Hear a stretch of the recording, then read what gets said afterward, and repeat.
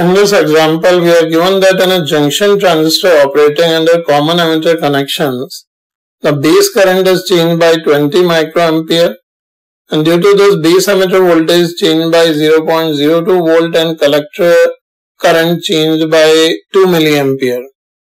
And uh, here we are required to find the input resistance and the beta AC of the circuit and we are also required to find the voltage gain of amplifier if uh, load resistance is 5000 ohm. Here uh, we can directly write that uh, as we know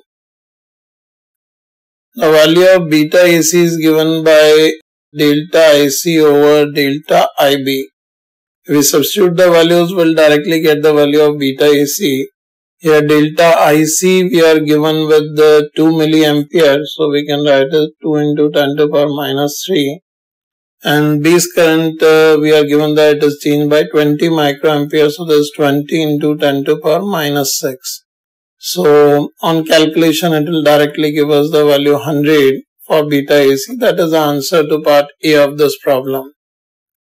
And for B, part B it is asking the voltage gain of amplifier we know that uh, the voltage gain of amplifier we can write as uh, beta AC multiplied by RL over RI where RL is the load resistance. We know its value. Beta we are already aware about. And RI is the input resistance of the circuit.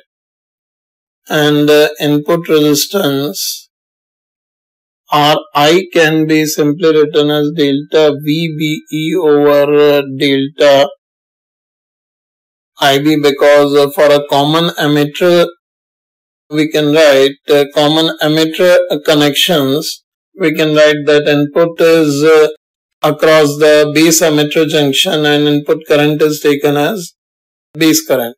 So dynamic resistance can be written as ratio of variation in input voltage to variation in input current.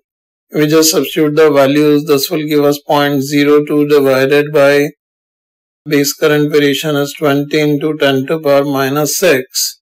So this will give us the value of uh, 1000 ohms. That is 1 kilo ohms. So in this situation we can write down the value of voltage gain as beta AC which is 100 multiplied by RL we are given with 5000 divided by the input resistance is 1000 so in this situation, this will give us the value 500. That will be the answer to part B of this problem.